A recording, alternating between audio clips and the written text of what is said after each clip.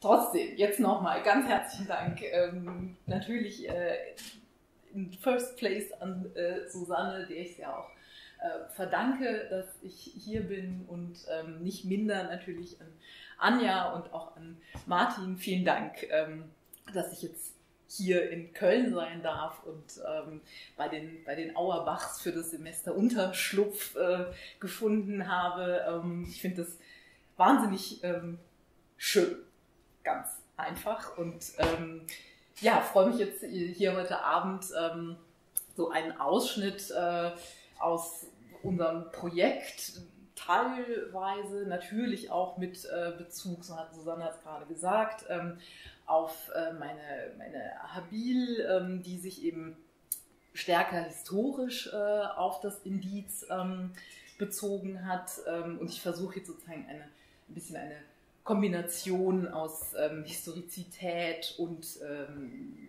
Semiotik, Theorie äh, vom Indiz ähm, heute Abend zu präsentieren und habe dann aber auch noch ein bisschen Literatur im Rucksack.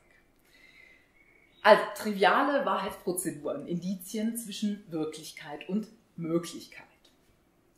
Das Lesen und Deuten von Indizien als Anzeichen ist eine alltägliche Orientierungstechnik. Es ist aber gleichermaßen eine epistemische Methode. Also alltägliche Orientierungstechnik und epistemische Methode.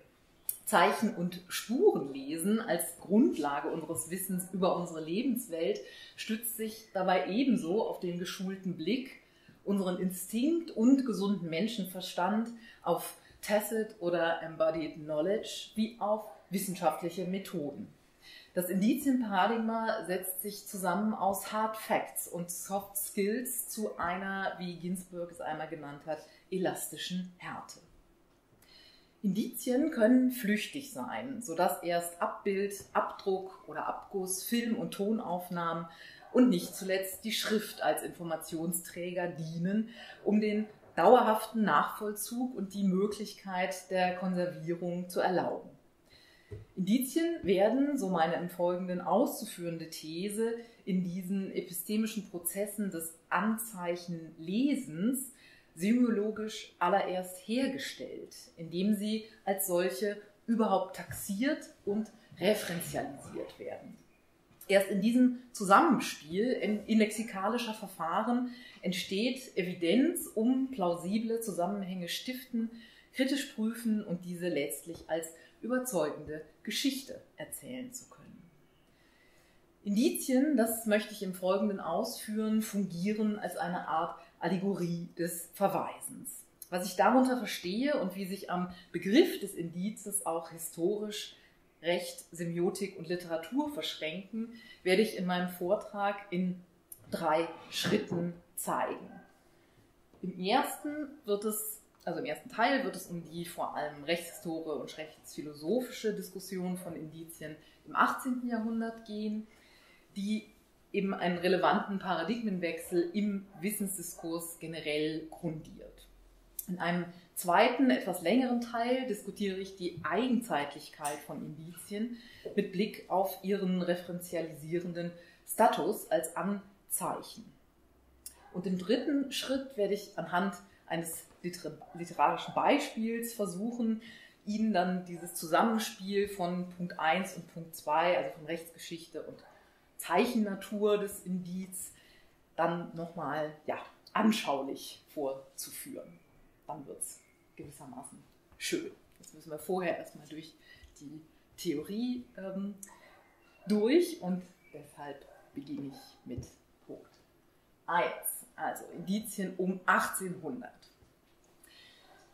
als materiale Spuren und dingliche Hinweise, aber auch als immateriale Verweise und Anzeigen werden Indizien um 1800 gehandelt. Unter der Ägide einer aufgeklärten Strafrechtsreform werden Indizien als neutrale Fakten und objektive Tatsachen gegen die von Natur aus unzuverlässige menschliche Konstitution argumentativ in Anschlag gebracht. Denn Menschen irren als Zeugen oder lügen als Geständige.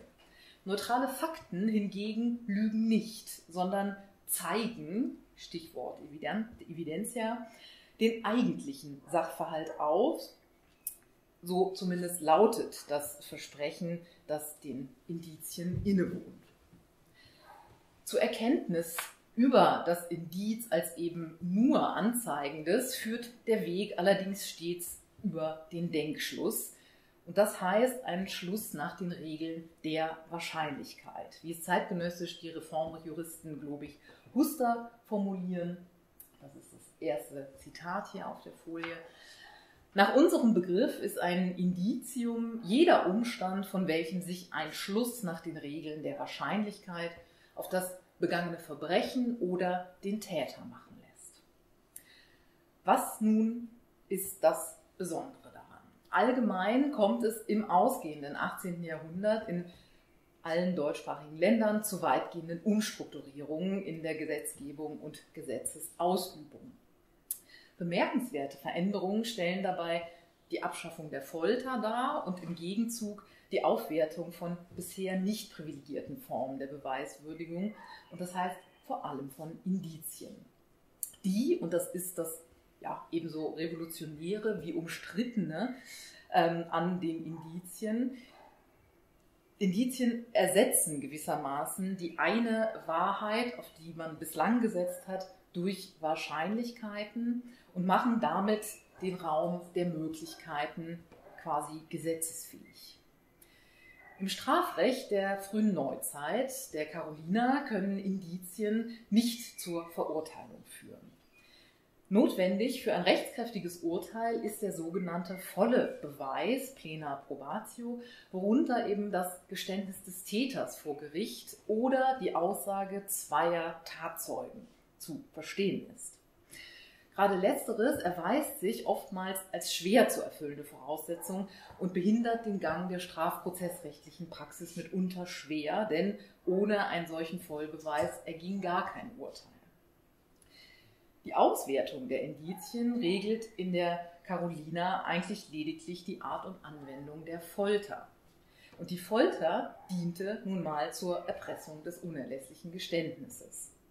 Das ist der berühmte Artikel 22 in der Carolina, der eben ähm, da lautet, dass auf Anzeigung, das bedeutet eben ähm, Indizien, ne, im, ähm, ja, im, im Sprech, frühneuzeitlichen Sprech, dass auf Anzeigung einer Missetat allein peinlich frag und nicht ander peinlich straf sollt erkennen werden.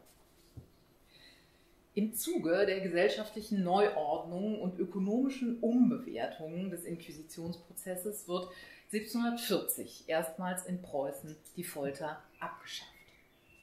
Nach der Abschaffung der Folter allerdings klafft in der Strafprozessordnung durch die damit verabschiedete Inquisitionspraxis eine Rechtslücke.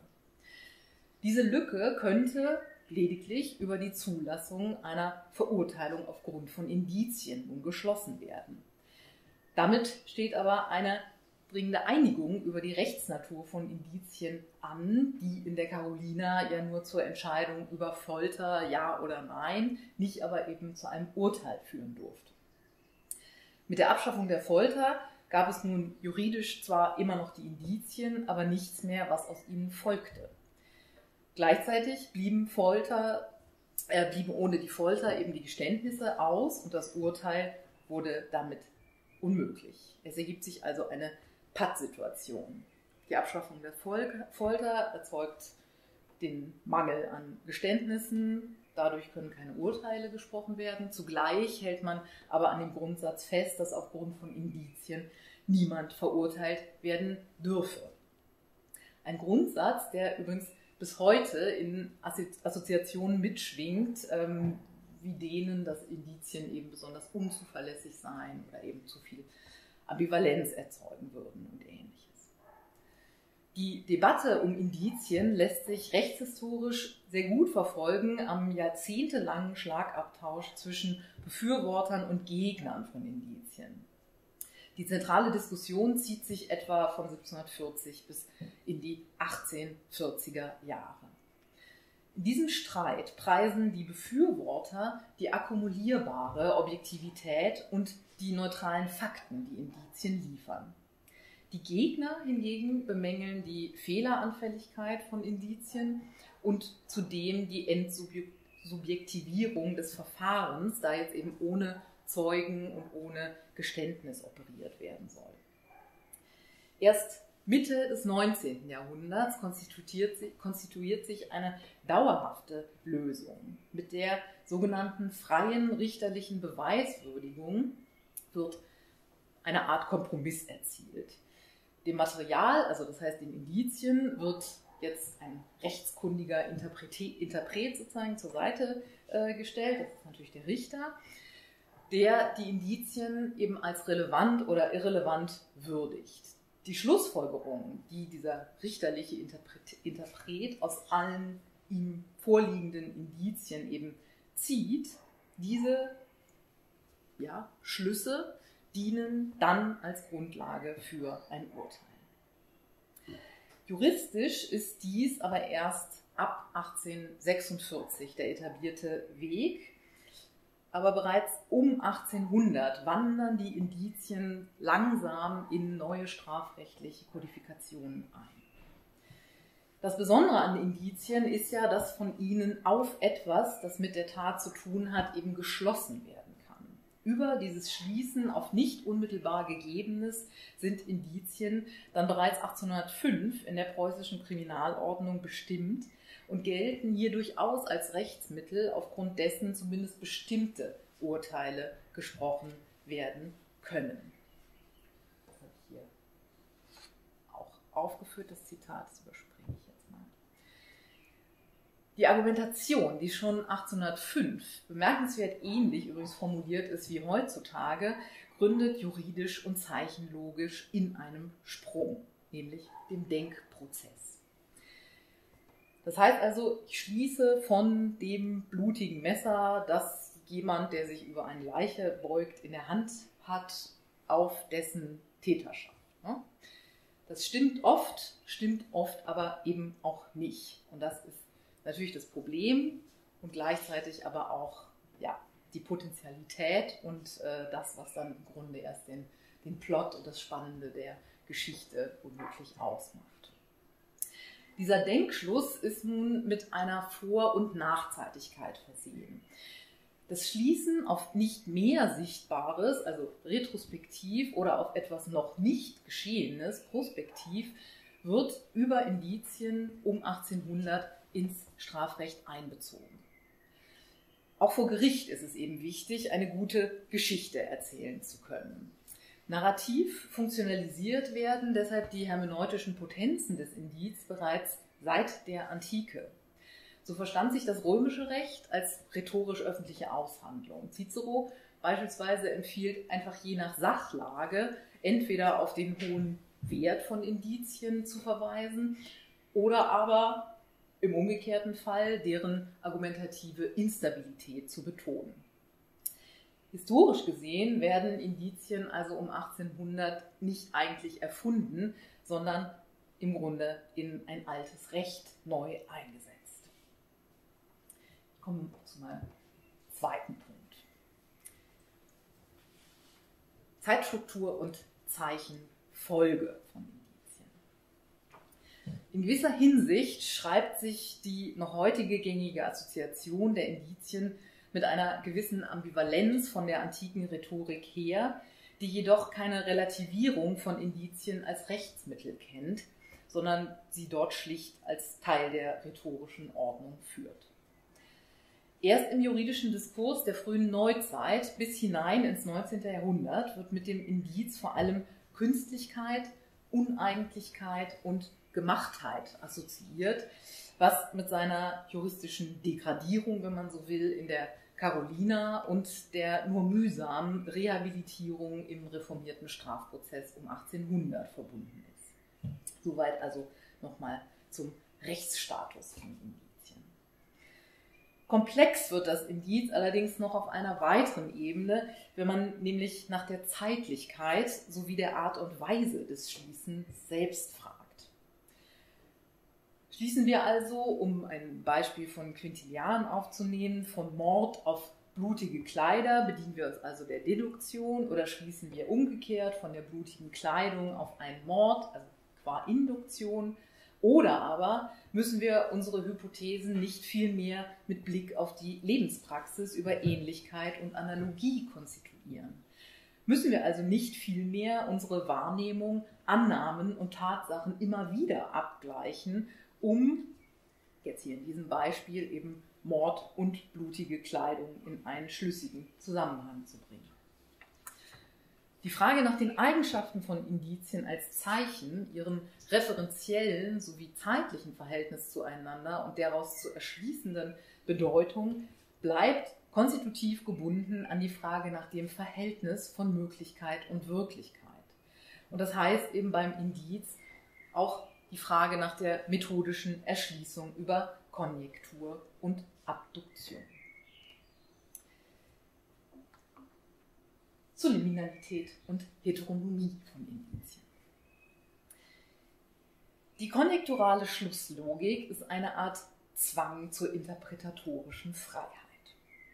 Sie produziert durchaus Schlüssiges, jedoch erweisen sich die Ergebnisse dieser Schlüsse nicht immer als zutreffend, sondern, und dies ist nun gerade für die Literatur ungemein zuträglich, eben auch als Irrtümer. Dies ist oft genau dort der Fall, wo das Erzählen oder der lesende Nachvollzug auf das hermeneutische Schließen ein bisschen zu sehr vertraut. Dabei ist die Frage nach dem Verhältnis von Zeichengebrauch und Zeichenlektüre ganz entscheidend. Ob ein Indiz also, nämlich als Anzeichen, meistens eben eines Verbrechens, überhaupt wahrgenommen dann als Indiz qualifiziert und des Weiteren interpretiert wird, hängt maßgeblich davon ab, ob und von wem dieses Zeichen benutzt und gelesen wird.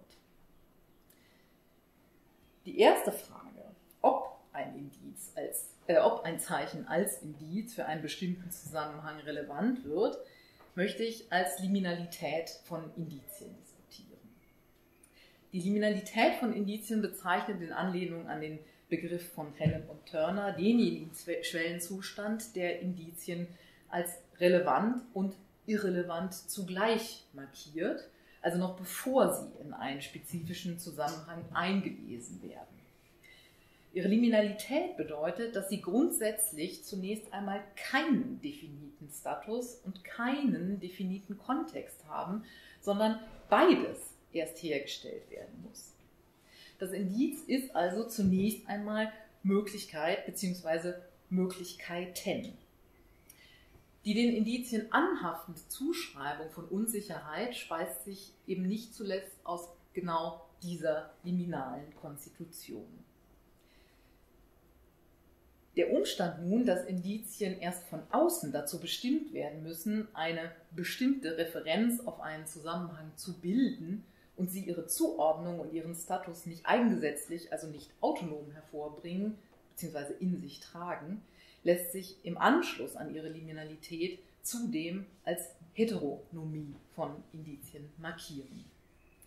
Die Überführung von Indizien aus ihrem Zustand der Möglichkeit, also ihrer Liminalität, in eine bestimmte Wirklichkeit ist also ein den Indizien äußerlicher Akt. So können beispielsweise Fußspuren, ja, besonders große oder besonders kleine, besonders tiefe und so weiter, an einem Tatort mit einer Tat zusammenhängen. Zwingend ist dies aber keineswegs. Ein Beispiel für eine gelingende Verknüpfung von Tathergang und Täter über ein an sich völlig nichtssagendes Indiz referiert beispielsweise Kleist in anekdotischem Ton in seinen Berliner Abendblättern. Hier wird nämlich der Anführer der Mordbrennerbande anhand einer Pfeife dingfest gemacht, weil eben diese Pfeife von einem Wachsoldat als Besitz seines ehemaligen Arbeitgebers und deshalb als erstohlen, äh, gestohlen erkannt wird. Nichts als dem Zufall, so Kleist, ist es hier zu verdanken, dass der an sich bedeutungslose Gegenstand Pfeife zwei miteinander zeitlich nicht korrelierte, voneinander unabhängige und nichtsdestotrotz kausal sich bedingende Ereignisse verknüpft, nämlich den vorangegangenen Diebstahl und den Umstand, dass die Pfeife nun in der Hand eines Fremden auftaucht. Diese Verknüpfung allerdings, und das ist für das Schlussverfahren letztlich genauso relevant, kann zugleich nur über das vorgängige Wissen des Beobachters um die Provenienz der Pfeife geleistet werden, das eben ein Wiedererkennen und damit die Ad-hoc-Qualifikation zum Indiz überhaupt ermöglicht. Indizien zu lesen bedeutet demnach sowohl eigene als auch fremde Kontexte sowie zeitlich determinierte Sequenzen von Ursache und Folge möglicherweise kausal umzukehren und wiederum antizipatorisch zu verknüpfen. Das heißt, prospektiv wie retrospektiv in allem auf eine womöglich nur noch nicht evidente Bedeutung gefasst zu sein. Wer im Zeichen des Indizes schlussendlich zum Agent und mit welcher Agenda wird, entscheidet eben nicht schon das Indiz to sec, sondern immer erst seine liminale Konstitution als Möglichkeit und seine heteronome Zurichtung als Wirklichkeit. Dies wiederum kann gewollt oder vermieden werden wollen. So Renate Lachmann, Zitat, Während der Spurenleser das Kontingente zum Zeichen macht, schließt der das perfekte Verbrechen organisierende alles, was Zeichen werden kann, aus, indem er alle wahrscheinlichen Hindernisse einplant. Das dennoch notwendig eintretende Unwahrscheinliche ist für den Täter Kontingenz, für den Detektiv Chiffre. Diese weitere Möglichkeit führt unmittelbar auf die oben formulierte zweite Frage, nämlich durch wen und unter welchen Umständen das Zeichen, beispielsweise eben Fußspuren, als Indiz qualifiziert und interpretiert werden. Wer also überführt, wie das Indiz, also wer also überführt das Indiz aus der Möglichkeit der Liminalität in eine der vielen möglichen Wirklichkeiten. Denken lässt sich beispielsweise an einen Untersuchungsrichter, der ein natürliches Zeichen, beispielsweise Fußspuren, an einem Tatort findet und sie als Indiz in einen Tathergang einliest und so auswertet. Wodurch er nichts weniger als ein künstliches aus dem originär natürlichen Zeichen generiert und dies ohne, dass sich die Natur des Zeichen Fußspurs selbst geändert hätte. Ebenso aber kann beispielsweise ein Täter, denkt man im Horizont jetzt von beispielsweise Condillacs mimetischem Zeichengebrauch, die Fußspuren platziert oder manipuliert haben, um eben eine alternative Lesart des Zeichens zu evozieren und damit das eigentlich natürliche Zeichen der Fußspur als immer schon künstliches, nämlich intentionales zu gebrauchen. Für die semiologische Qualifikation von forensischen Indizien gilt daher, dass sie situativ und intersubjektiv dependent ist und Indizien daher natürliche und künstliche Zeichen zugleich sind. Und dies gilt für alle Zusammenhänge, in denen Indizien eine Rolle spielen. Das heißt, in juridischen und kriminalen natürlich, aber eben auch in beispielsweise medizinischen, semiotischen aber eben auch literarischen Kontexten. Darauf komme ich auch gleich zu sprechen. Diese Doppelstellung des Indizes an den Rändern von Material und Narrativ markiert eben eine Schnittmenge von mittelbaren und unmittelbaren Schlüssen von natürlichen und künstlichen Zeichen. Denn einerseits eignet die Mittelbarkeit dem Indiz in seiner Funktion als Anzeichen in einem Möglichkeitsraum und methodisch zeigt sich dies als konjekturales Schlussverfahren. Indizien werden also nicht als solche vorgefunden, sondern durch abduktive Operationen theoriegeleiteten Schließens und Schätzens allererst hergestellt. Ein Umstand, der sich über eben die Liminalität und Heteronomie von Indizien beschreiben lässt. Zugleich aber betont andererseits die Qualifikation des Indiz als natürliches Zeichen den kausalen Nexus zwischen Indiz und Indiziertem, also diese Logik ne, von Rauch und Feuer wird da bedient. Und dadurch wird eben die Unmittelbarkeit von Indizien betont. Das Indiz beruht dann semiotisch auf einem realen Nexus zwischen dem Zeichen und dem Bezeichneten, der in der Verbindung von Denkschluss und Materie erzählbare Sinnstiftung verspricht. Das Indiz steht so Stelle der Unmittelbarkeit gewissermaßen für das Geschehen in Nuke. Und hier schließen sich dann auch Diskussionen eben zum Verhältnis von Zeichenhaftigkeit und Material an, ähm, die natürlich gegen so eine perpetuierte ähm, Verweisstruktur ähm, der Zeichen argumentieren und sowas wie Resilienz und körperhafte Dinglichkeit und so weiter in Anschlag bringen. Als dem Indiz genuines Verfahren kommt also dem Denkschluss die entscheidende Rolle zu das konjekturale Schließen auf nicht unmittelbar Gegebenes, insofern es nicht mehr, das heißt retrospektiv oder noch nicht prospektiv präsent ist. Interessant ist dabei eine Art doppelte Zeitlichkeit der Indizien. Einerseits verweisen sie generell in ihrer Funktion als Anzeichen auf ein entweder zurückliegendes oder vorausliegendes Geschehen, das erschlossen, zugeordnet, selektiert und gedeutet werden muss.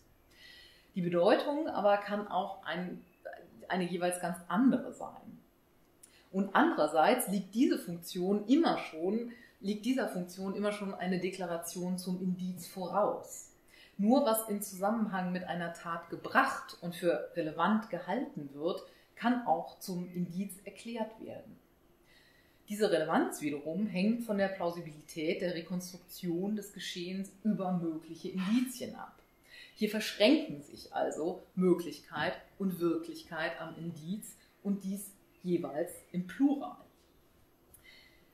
Diesem konjunkturalen Modus der Fraktur aus Folgerung und Selektion ist die zeitlich eigentümliche Inversion eben von permanenten Vorausschauen und Rückschließen inhärent, die eine permanente Rückkopplung von Setzung und Prüfung, von Hypothese und Affirmation, von Vergangenem mit Zukünftigen verlangt und dabei immer andere Deutungslagen zu evozieren vermag. Berühmt wird dieses ebenso spekulative wie stabilisierende Überzeugungsverfahren über ebenso einen plausibilisierenden Abgleich als Abduktion in den Überlegungen Charles Sander Peirce. Bekannt ist es allerdings seit der Antike.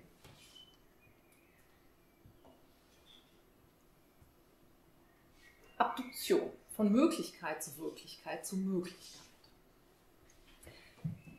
als ein ins Verhältnis setzen von Wahrnehmung, Gewohnheit und interpretierendem Schließen führt die Abduktion allgemein die menschliche, aber eben auch die wissenschaftliche Erkenntnis über eine Art Raten, Person nennt das Guessing, zu nicht zwingend notwendigen, aber eben sehr wahrscheinlichen und oftmals kreativen Schlüssen.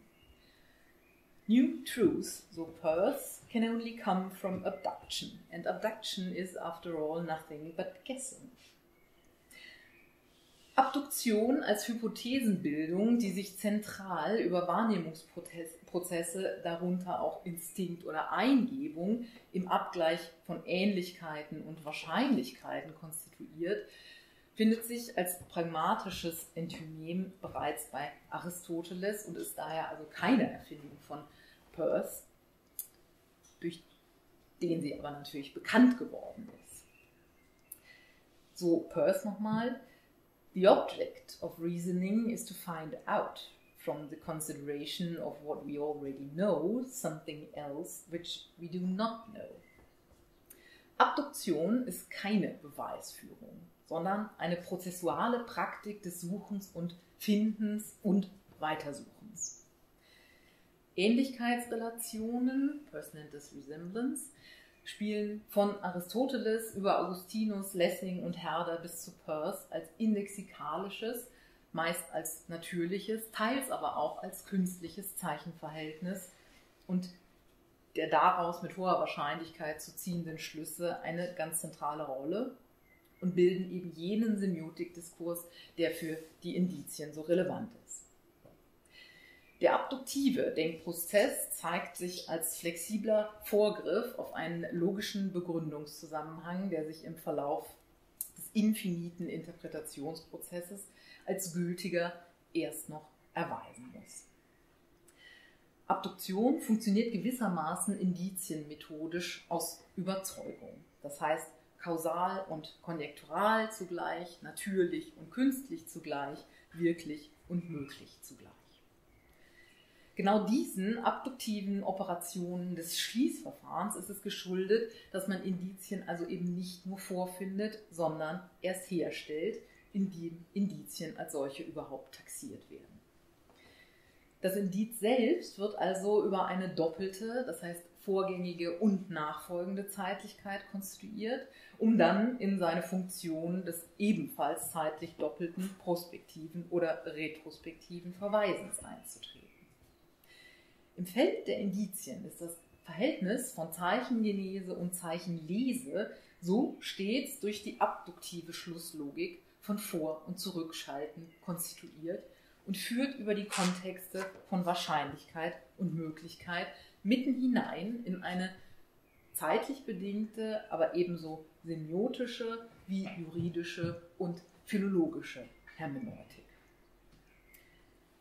Und damit bin ich bei meinem dritten Punkt, der eben Möglichkeit und Wirklichkeit anhand von Indizien jetzt auch konkret, ähm, und das heißt natürlich literarisch, vorführt. Also, literarische Indizienlese in Kleists Hermannschlacht.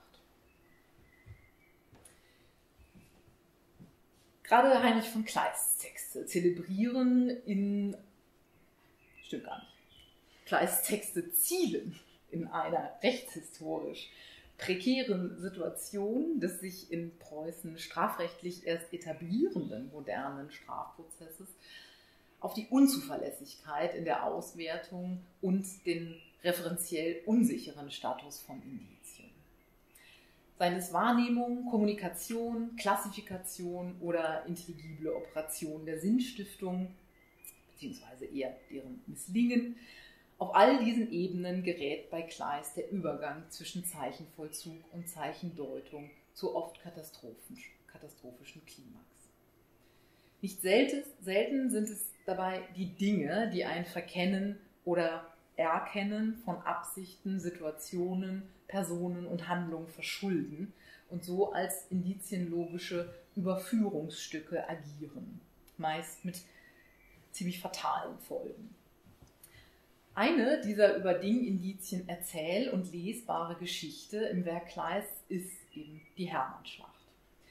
Kleist nutzt hier für die dramatische Dynamik ein prognostisches bzw. prospektives Indizienverfahren, in dem ähm, ja, eben Indizien ausgelegt werden und erst gelesen werden müssen. Ähm, beispielsweise in Schroffensteins macht er es ja genau umgekehrt. Hier geht es eben über, läuft die Geschichte über anamnestische Indizien, also in der retrospektiven ähm, Richtung eben der analytischen Aufklärung. Die Hermannschlacht bewegt sich historisch und juridisch auf doppeltem Boden. So führt das Drama eine interlineare Klage über die Zustände der napoleonischen Besatzung unter dem antikisierenden Mantel der römischen Kolonialherrschaft.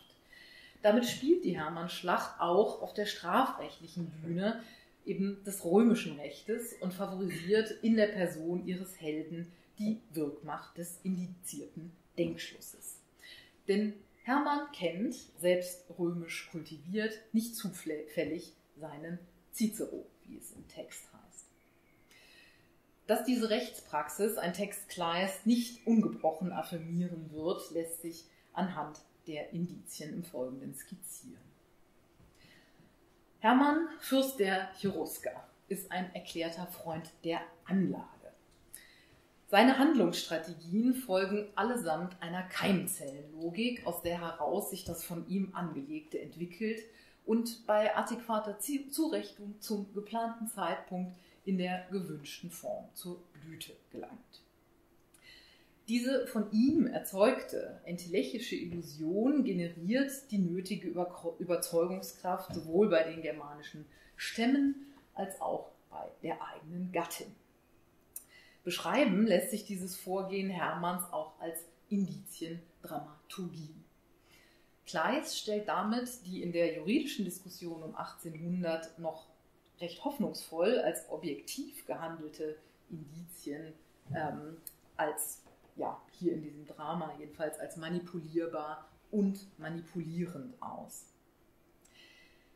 Dabei sind es vor allem Dinge, die einerseits als zugerichtete Objekte, andererseits als die Situation zurichtende oder das Umfeld beeinflussende Zeichenträger eingesetzt und so allererst zu Indizien gemacht werden. Zwei für den Handlungsgang entscheidende Dingindizien sind in der Hermannschlacht der Dolch und die Locke. Beide Objekte werden im dramatischen Kontext bedeutsam, indem sie geradezu im Sinne Latours zu Akteuren werden.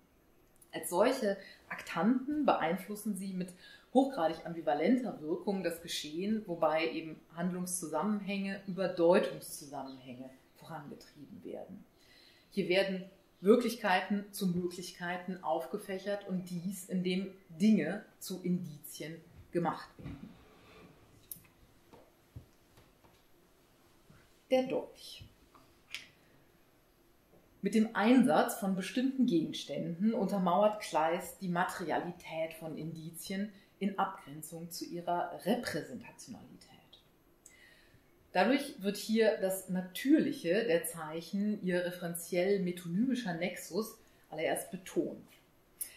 Wenn beispielsweise im Drama sozusagen wirkliche Dolche vorkommen, können diese entweder zur tödlichen Waffe werden, das geschieht beispielsweise in der, äh, der Halli-Episode, sie müssen dies aber nicht. Dazu werde ich gleich noch etwas sagen. Äh, das ist beispielsweise in den Verhandlungen mit Barlock der Fall. Wenn hingegen die symbolische Aufladung des Dolches sozusagen überstrapaziert wird, das heißt eben eigentlich keine tatsächliche Handhabung der Waffe beabsichtigt ist, sondern der Dolch hier lediglich ja, um Zusicherung sprachbildlich zu untermalen ähm, von einer Figur sozusagen ins dramatische Feld geführt wird, kehrt sich diese Dingmacht oftmals tatkräftig gegen denjenigen, der sie bloß metaphorisch deutet. Und damit, wie das so ist bei Kleist, eben missdeutet. Zeigen lässt sich dies beispielsweise an folgender Szene, wenn nämlich Ventidius gegenüber Varus die Treue Hermanns beteuert. Die Frage von Varus, ob mit dem Cherusker, Zitat, im Rücken auch nichts zu befürchten sei, meint Ventilius entkräften zu können. Er sagt, so wenig wiederhole ich dir als hier von diesem Dolch in meinem Gurt. Dieser so gewissermaßen metaphorisch losgelassene Dolch kehrt allerdings eben dort, nämlich im Rücken des Varus zurück und nun als gewissermaßen manifester Dolchstoß, denn im Finale steht dann Marbot vor den römischen Truppen und hinter ihnen steht zugleich Hermann, um eben die Römer, wie es im Text heißt, mit Dolchen in den Staub zu werfen. Seiner tödlichen Natur gemäß sozusagen und damit eben gerade nicht metaphorisch tritt der Dolch beispielsweise auf, wenn Hermann seine beiden Söhne als Pfand in Marbots Lager schickt. Dies tut er, um seiner brieflich mitgesandten Verhandlungsabsicht Glaubwürdigkeit zu verleihen. Das nackte Leben der Kinder wird so zum Garant für die Wahrheit des Bündnisangebots, das Hermann in einem Schreiben an Marbot übermittelt. Ungedeckter könnte man meinen, können Zeichen kaum bürgen. Das heißt dort, da schickt er den Rinold und den Adelhard, die beiden Knaben mir, die ihm sein Weib gebar. Und diesen Dolch hier, sie zu töten, wenn sich ein Trug in seinen Worten findet. Trotz dieser buchstäblich leibhaftigen Versicherung mittels der ausgelieferten Kinder steht die Szene zunächst unter den Vorzeichen eines Verdachts, der erstmal ausgeräumt muss. Es muss sich also zunächst erweisen, dass die Kinder und damit auch Hermanns Absichten das sind, was sie scheinen. Marbot inszeniert in dieser Szene eine Art kleinen Indizienprozess gegen Hermann in Absentia. Da man das Verhandlungsangebot trotz des menschlichen Unterpfandes und des gleich mitgelieferten Vollstreckungsinstrumentes für eine, Zitat, tückische, verrätische, verräterischen Versuch hält, betrachtet nun Marbot selber die Jungen, wie es im Text heißt, aufmerksam. Zitat, er scheint sie daraufhin zu prüfen, ob sie nicht den echten Prinzen ähnlich bloß statt diese selbst sind. Da auch Marbot dem Augenschein nicht traut, gibt er sich den Jungen gegenüber zunächst für seinen Kämmerer aus, doch die Jungen erkennen ihn an einem, übrigens durchaus klassischen Indiz, nämlich einem Ring. Noch gestärkt wird die Wahrscheinlichkeit der Identität der Kinder mit sich selbst über den Ring, weil sie diesem Ding Indiz genaue Informationen zuordnen können. Sie sagen, wo, wann und in wessen Beisein sie diesen Ring zum ersten Mal gesehen haben und wissen übrigens auch, warum Marbot ihn trägt. Zitat: Du hättest ein Gelübd getan und müsstest an dem Arm den Ring von Eisen tragen, so lang ein römischer Mann in Deutschland sei. In dieser Episode arbeitet Kleist mit dem Grundproblem von Indizien, ihrer Heteronomie. Indizien sollen eben nicht nur hinreichen, einen Hergang ähnlich dem des Geschehens zu rekonstruieren, sondern sie müssen die Wahrscheinlichkeit der Identität von Tatbestand und Nachvollzug über ihre Referenzialität größtmöglich erhöhen. Und dies tun die beiden Knaben, indem sie eben eine ganze Indizienkette knüpfen, deren Elemente sich jeweils auf den wiedererkannten Ring stützen. Dass die Rolle des klärenden, einenden und schlichtenden Elements ausgerechnet ein Gegenstand spielt, dessen runde Hohlform die Spitze des mitgeschickten Dolchs konterkariert, zudem die Geschlossenheit und Stärke des angestrebten Bündnisses in seiner Gestalt, also eben als Ring und in seinem Material eben als Eisen nochmal aufruft und zusätzlich eine genealogische Weitergabe repräsentiert, nämlich die Söhne, ne, die dort eingeknüpft sind, lässt dieser Ring sowohl auf der motivischen Ebene als Indiz, also als Erkennungszeichen, als auch strukturell semiotisch als verbindendes Ding, also als Bündnis zwischen den Germanen und als genealogisches Bündnis gewissermaßen, auch innerhalb der gesamten Dramentektonik ähm, entfaltet es seine Wirkung. Also das ist nicht irgendein Indiz, was hier gewählt wird, ne, sondern es, es, stärkt natürlich die ganze, ähm, ja, ganze Tektonik des, des Dramas. Bestätigend flankiert wird Hermanns, äh, Hermanns Arrangement aus Bündnisangebot Dolch und Knabenpfand zudem durch ein weiteres und davon ganz unabhängiges Indiz, nämlich ein Brief, ähm, der eintrifft äh, und von dem flüchtigen Fluvius äh, stammt und der dann eben die Verräterei der Römer ähm, gänzlich aufdeckt. Von diesem Moment an ist dann die Sachlage auch klar und wie es im Text heißt, keine Zeit mehr für Worte, sondern Marbot wechselt nun aus der Mittelbarkeit in die unmittelbare Tätigkeit über. Er will, Zitat, mit deutlichen Taten die Antwort schreiben. Die Indizienlese hat hier ihr manifestes Ende, Zitat, in dem Marbot die Kinder freigibt und den Dolch zerbricht. So lautet die Szenenanweisung. Mit dem symbolisch konnotierten Zerbrechen des Dolches ist auch die reale Bedrohung gebrochen und die zweischneidige Situation zur eindeutigen Lesart entschärft.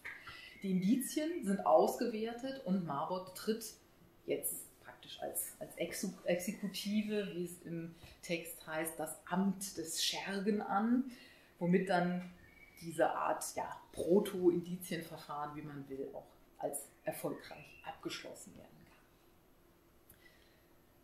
kommen noch zum zweiten Indiz, der Locke.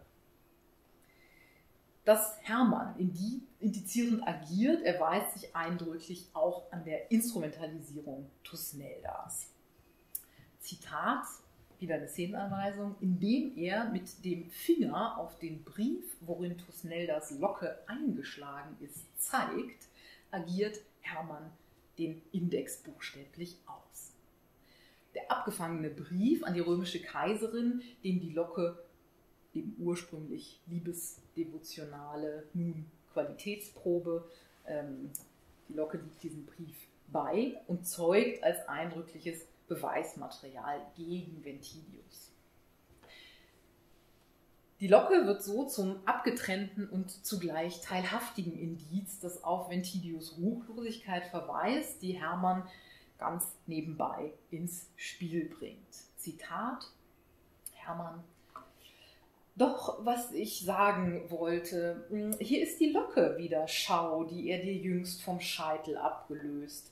Sie war als Probe deiner Haare schon auf dem Weg nach Rom. Tusnelda, mit diesem Einblick in die römische Kosmetikkultur konfrontiert, wird nicht nur mit Recht bang, Zitat, um ihre Zähne und Haar, sie ist von dem Verrat tief gekränkt, zumal wenn Hermann postwendend mit Zitat, Humor die Möglichkeit durchspielt, dass Tusnelda, Zitat, radikal geschoren aus dieser Lockenepisode hätte hervorgehen können. Angesichts dieser offenbar eindeutigen Faktenlage gerät Tusnelda nun in einen Gefühlstaumel, der sie von Nichtbegreifen über Selbstzweifel und Sprachversagen zu Scham und letztlich zur wütenden Vergeltung führt. Zitat Tusnelda, Überlass ihn mir, ich habe mich gefasst, ich will mich rächen. Über die Locke als Pars pro Toto wird Tusnelda damit zentraler Teil von Hermanns Indiziendramaturgie, die auch diese Episode mit der Zerreißung von Ventidius durch die Bärin tödlich enden lässt. Eine Locke also mit weichreichenden Folgen. Auffallend in den betreffenden Szenen ist, dass eben beide Dingindizien, Dolch wie Locke, erst in eben dem Moment zu ihrer dramenlogischen Funktion finden, wenn sie von einem Besitzer oder einem Nutzer zum anderen übergewechselt sind. Dabei stellt sich stellt dieser Wechsel keine bruchlose Übergabe von Hand zu Hand dar, sondern dem Vorgang inheriert dann immer eine kurze Zeitspanne, in der das jeweilige Objekt zwischen potenziellen Eigenschaften und latenten Zuschreibungen frei flottiert. Und dies ist ein Zustand der Dekontextualisierung, der eben zwischen Möglichkeit und dann werdender Wirklichkeit gewissermaßen oszilliert. Beide Dinge werden für diesen Wechsel signifikanterweise als Botschaft mit einem Begleitschreiben von einem Absender entsandt und von einer anderen Figur mal korrekt adressiert, wie eben beim Dolch, oder aber zufällig bzw. fehlerhaft, wie bei der Locke, empfangen. Als Amalgam von Unmittelbarkeit und Mittelbarkeit geraten Dolch und Locke dabei in eine liminale Deutungsschwebe, die, wie oben gezeigt, für die Indizien ja symptomatisch ist. Material und Deutungsraum verschränken sich, bleiben aber vieldeutig. Nach dieser Durchgangsphase tendieren beide Dinge in der Rekontextualisierung dazu, eine Werteverschiebung oder gar den metaphorischen Sprung zu verweigern und in einem Feld, das sie nur als sie selbst referenzialisiert, zu agieren. Deshalb müssen beide Dinge mit einem erläuternden Brief zu Einsatz und Funktion versehen werden, der den Deutungszusammenhang qua Lesbarkeit je vereindeutigt und sie ins Zeichensystem der Dramendynamik reintegriert. Dies einerseits konstruktiv, wenn man so will, also mit Blick auf den Dolch und andererseits destruktiv bei der Locke. Doch auch hier haften beiden Dingen die Ambivalenzen weiterhin an, denn konstruktiv funktionieren Dolch und Locke ja vor allem für Hermann. Jedenfalls nicht für Tusnelda und schon gar nicht für die Römer. Und so wird nochmals deutlich, dass Indizien nicht per se etwas sind, sondern sie immer erst zu etwas gemacht werden müssen. In genau diesem Sinne findet man Indizien also niemals vor, sondern man muss sie immer erst herstellen. So wird der Dolch als potenziell tödliche Waffe von Hermann abgesandt und vom Adressaten Marbot als vertrauensfördernder Teil des Unterpfands verstanden und performativ entschärft, indem er ihn zerbricht. Der qualitative Wechsel des Objekts Dolch von Zerteilung zu Verbindung wird noch dadurch betont, dass zunächst die beschriebene liminale Phase eintritt. Während der Dauer des Prüfungsverfahrens, also wo es um die Identität der Söhne geht, verharrt der Dolch eine Zeit lang in eben jener unlesbaren Ambivalenz, die einer widerständigen Dinglichkeit und ihrer opaken Handlungsmacht eignet. In dieser Phase der Unentschiedenheit oszilliert der Dolch zwischen ja, Materialita Eigenheit oder Eigentlichkeit als Waffe und einer semiotisch erst noch zu entziffernden bzw. zu erweisenden Bedeutung. Und damit schwebt der Dolch kurzzeitig zwischen seiner Funktion als letale Bedrohung und der Umkehrung dieser Funktion, nämlich der Vitalisierung eines Bündnisses. Das materiale Ding kann in dieser Szene bei Kleist letztlich als Teil der strategischen Botschaft, Botschaft konstruktiv wirksam werden, gerade weil, so meine These, das dem Dolch innewohnende Risiko im Zuge seiner funktionalen Umwidmung als Eigenart affirmiert und mittransportiert wird.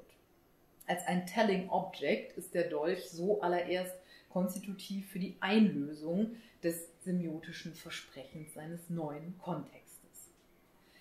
Ganz anders wiederum rekontextualisiert sich ähm, das Geschehen, in dem die Locke wirksam wird. Nachdem Ventidius sie von Tusnelda als metonymisches Liebespfand gefordert hat, gerät die Locke für eine gewisse Zeit aus dem dramatischen Blickfeld und taucht erst in den Händen Hermanns wieder auf. Und dies unter völlig anderem Vorzeichen, genauer eigentlich unter gar keinem Vorzeichen, denn als, wie es im Text heißt, Probe der Haare Tusneldas, die an die römische Kaiserin adressiert ist, weist dieses Ding nun auf nichts weiter als auf es selbst. Die Locke fungiert nicht mehr als Pars pro toto der abwesenden Geliebten, also als Erinnerungszeichen, sondern lediglich als Pars ihrer selbst, das nur noch darauf verweist, dass sein Ursprungsort ein Mehr an identischem Material bietet nicht aber etwas ist, das über die Locke als Haar hinausgeht. Die Locke also lässt sich gerade nicht als Erinnerungsobjekt in eine metonymische Zeichenordnung einlegen, sondern evoziert über ihren Wiedereintritt ins dramatische Geschehen nichts als sie selbst zu sein, eben gerade die Katastrophe für Ventidius. Aber auch hier ist die Funktionalisierung eine doppelbödige. Erstens hatte Ventidius die metonymisierte Funktion der Locke als Erinnerungsobjekt gegenüber Tusnelda nur behauptet. Etwas vorzugeben allerdings, blickt man auf das Werk Kleists, ist ein nahezu todsicheres Ende der Figur. Zweitens ermöglicht erst die briefliche Einbettung den ebenso aufklärenden wie manipulativen Einsatz der Locke durch Hermann, da sie lediglich in diesem Kontext auf den Verrat von Ventidius verweist. Ohne diese semiotische Copula zwischen Ding und Schrift können sich die von Hermann gewünschten Wirkungen gar nicht entfalten, sondern die Locke wäre als Ding to Sex sozusagen potenziell immer liebesdevotionale und Materialprobe zugleich. Und damit ist sie vor allem opake Oberfläche, ein Ding also, das die Möglichkeit vieler Wirklichkeiten birgt. Komme zum Schluss. Die doppelte Doppeltheit in temporaler Konstitution und Funktion von Indizien erzeugt dabei unweigerlich Konstellationen von gleichzeitiger Wahrscheinlichkeit und Unwahrscheinlichkeit und damit einen spezifischen Raum unsicheren Wissens. Ein Ort, der solche Formierungsphasen von Wissen abbildet und reflektiert, in dem Grauzonen und epistemische Wahrheit äh, Wahrheit ausgehalten, diskutiert und vor allem produziert werden, ist natürlich die Literatur. In ihr werden genuin über diskursive Offenheit auch Wissensformen von kurzfristiger, eingeschränkter oder womöglich keiner diskursiven Akzeptanz ausgefaltet, die traditionelle Positionen in Frage stellen, konterkarieren und zur Revision, zumindest aber Variation herausfordern können. Literatur wird dabei stets Potenziale der Subversion, Aporie und Idiosynkrasie transportieren und nicht der rationalistischen Idiotie verfallen, referenzielle Deixis betreiben zu können. Über Form und Funktion der Indizien kann gattungshistorisch wie gattungstheoretisch auch eine Art Vorgeschichte des Kriminalromans als ja, immens erfolgreiches und populäres Genre konturiert werden. Das Schreiben und eben auch das Lesen von Literatur kann stets auch als eine Fortsetzung der detektorischen Erkenntnisbeziehungen mit anderen Mitteln gelten, als ein Denken und Beobachten zweiter Ordnung, bei dem die hermeneutischen Modi der Deutung und Schlussfolgerung ihrerseits mitbeobachtet und überdacht werden. Die Indizien bildeten so ein für die Literaturwissenschaft ebenso heikles wie herausforderndes Übergangsphänomen von Höhenkammliteratur zu Unterhaltungsliteratur. Über die Spannung zwischen Evidenz und zu besetzender Leerstelle erzeugt das Indiz genau denjenigen Raum eines Deutungsgebots, der die Bindung an ein Material mit der konjekturalen Dynamik einer Möglichkeits- und Wahrscheinlichkeitsoffenheit vermitteln muss. Erkenntnistheoretisch betrifft dieser Umstand einer spezifisch chiastisch referenzialisierenden Zeitlichkeit in lexikalischer Zeichen und der daraus resultierenden Spannung zwischen Evidenz und Hermeneutik sehr generell human- und kulturwissenschaftlich arbeitende Kontexte, die sich immer auch als Verstehenswissenschaften begreifen.